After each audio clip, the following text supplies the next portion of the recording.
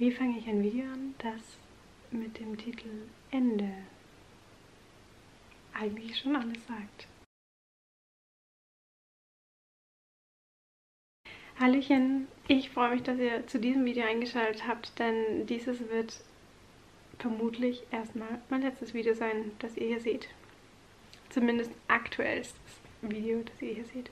Ich habe mich dazu entschlossen, kein hoffentlich ganz so blödes, oh Gott, nein, ich höre jetzt auf, Video zu drehen und ähm, rumzuheulen wie jeder andere, der das tut und der einfach einmal verkündet, dass er aufhört.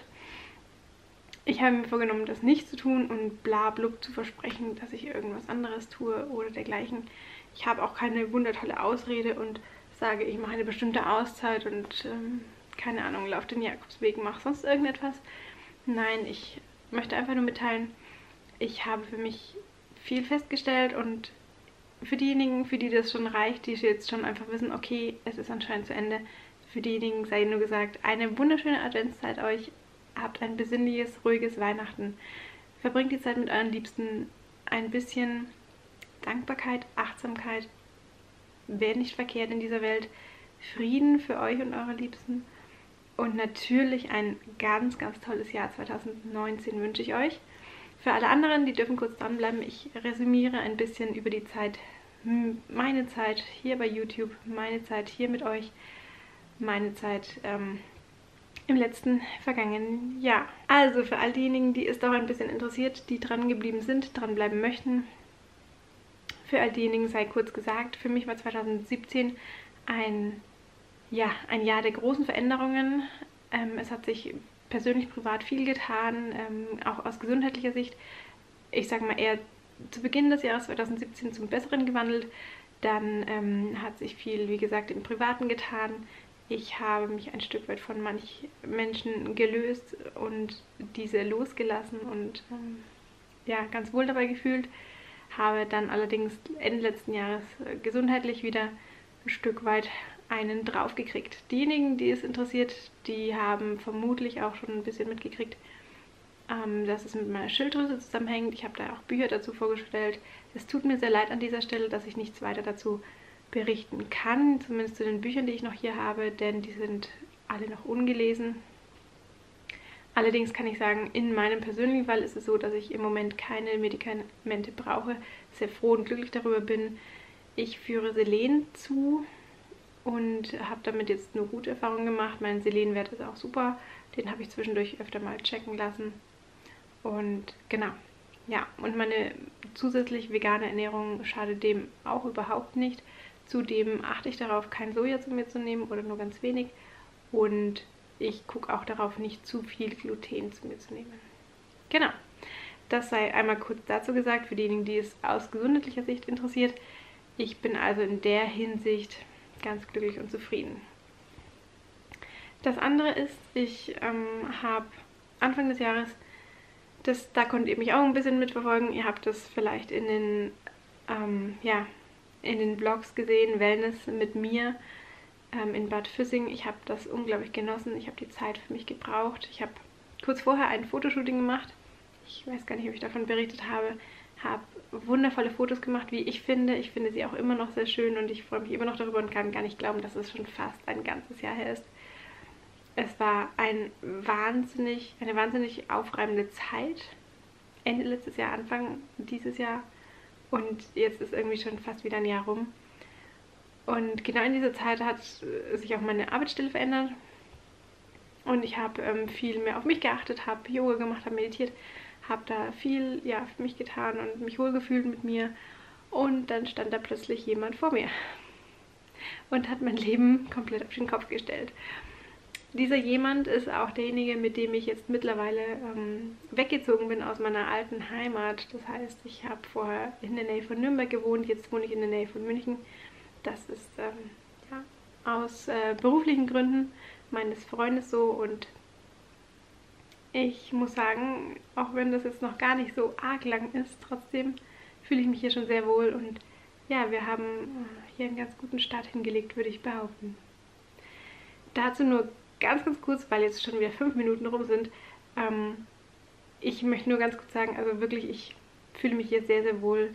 Ich ähm, kann nicht sagen, ich habe eine tolle Arbeitsstelle mit super tollen Kollegen, tolle Patienten, ähm, gar kein Thema, gar keine Frage, aber ich merke eben auch, dass ich, ähm, ich mich und sich vieles um mich herum verändert hat und das führt auch dazu, dass ich jetzt eben hier sage, okay, jetzt ziehe ich einen Schlussstrich.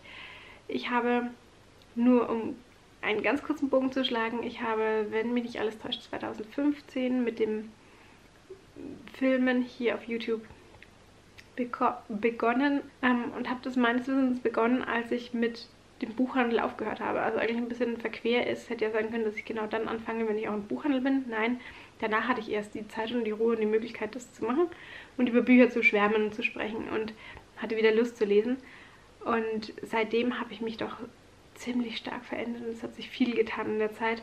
Das alles führt ein Stück weit dazu, dass ich mich verändert habe und dass ich gemerkt habe, ich habe nur noch an den Vlogs Spaß. Sowohl beim Schauen bei anderen Menschen als auch bei mir selber beim Drehen und Schneiden und Wiederanschauen. Ich kann mich eigentlich nicht so gerne sehen. Also ein bisschen verquer, wenn ich meine Videos schneide, muss ich mich anschauen. Allerdings habe ich nicht so richtig Lust, mir ständig dabei zuzugucken, wie ich so aussehe und wie ich in die Kamera rede. Dementsprechend gucke ich meine Videos jetzt nicht die ganze Zeit und bin völlig narzisstisch veranlagt und ähm, egoistisch, sondern es geht darum, dass ich einfach die Art und Weise, weil ich das gern mag, mit verschiedenen Perspektiven filmen und zusammenschneiden und Ton dazu und so weiter. Das mag ich sehr gern. Allerdings, ja, habe ich festgestellt, ich habe da nicht mehr die Zeit dazu und es erfüllt mich nicht so sehr, dass ich das regelmäßig machen würde. Das heißt, ähm, ich werde eventuell schon noch Videos hochladen. Ich verspreche aber nichts und ich glaube im Moment nicht daran, dass es so bald sein wird. Also dieses Jahr denke ich gar nicht daran. Und falls wir hier kommen, ihr könnt sie euch gerne anschauen. Es werden eher Vlogs kommen, denke ich. Aber auch das weiß ich noch nicht so genau, ob ich das noch möchte. Und wie gesagt, auch die Zeit dafür habe und investieren möchte. Es geht auch darum, dass ich natürlich immer noch gerne Bücher lese, aber ich muss die nicht mehr präsentieren. Ich habe da das Gefühl, ich setze mich langsam trotzdem unter Druck und ich müsste was abliefern und ich müsste bestimmte Dinge tun. Das will ich alles nicht. Und dieser, ja, dieser Druck und diese Standardformate gefallen mir einfach nicht mehr mittlerweile leider und deswegen wird das alles nicht mehr der Fall sein. Was kann ich sonst noch sagen? Ich kann noch ganz kurz sagen, was ich aktuell lese. Vielleicht interessiert es trotzdem noch jemanden zum Schluss. Und zwar alte Bekannte Harry Potter und die Heiligtümer des Todes von J.K. Rowling. Das ist der letzte Teil von Harry Potter und ich denke, ich muss nichts mehr dazu sagen. Abschließender Teil der Heptalogie. Ich habe jetzt auch vor kurzem mit meinem Freund zusammen alle Teile angeschaut auf Blu-ray und ähm, ja, ich war wieder fasziniert, was alles im sechsten und siebten Teil passiert. Denn das sind die Teile, die ich irgendwie am wenigsten gut kenne und den siebten sowieso und bin jedes Mal wieder überrascht, was so passiert. Allerdings, manche Dinge weiß ich schon noch, dass sie vom Film und Buch abweichen und so. Ähm, oder kann manches, manche Frage klären, die dann auftaucht, weil mein Freund nur die Filme kennt und nicht die Bücher. Genau, ähm, da bin ich ja schon relativ weit. Für diejenigen, denen es was sagt, ähm, einer der aller, aller, aller, aller, aller, allerliebsten Charaktere, finde ich, und süßen Charaktere ist gestorben. Ich hoffe, ich spoile jetzt niemanden, aber ich denke nicht. Die meisten werden wissen, wen ich meine. Und ja, da lese ich dann so in den nächsten Tagen, Wochen weiter und werde das, denke ich, schon noch in diesem Jahr beenden. Und was so ein bisschen auch zum Thema dieses Videos und meines, meiner momentanen Situation passt, ist, kann man mal machen. Fand mir relativ egal. Ich mag Mirella total gern. Ich gucke ihre Videos super, super gern, denn sie ist Veganerin, sie hat Tiere, sie hat total lustige Ideen, sie kann singen.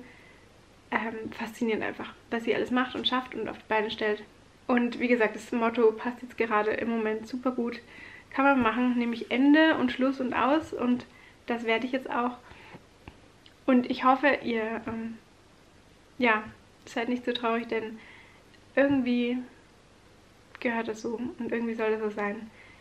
Und es hat sich einfach in meinem Leben einiges geändert. Ich lasse manche Dinge los und das darf, das darf, muss, soll so sein. Deswegen, ich wünsche euch alles, alles Gute. Ich hoffe, dass euer 2018 mindestens genauso schön war wie meins. Oder noch schöner. oder euer 2019 richtig, richtig toll wird. Glaubt an das Gute, probiert mal Meditieren aus und ja. Tschüss.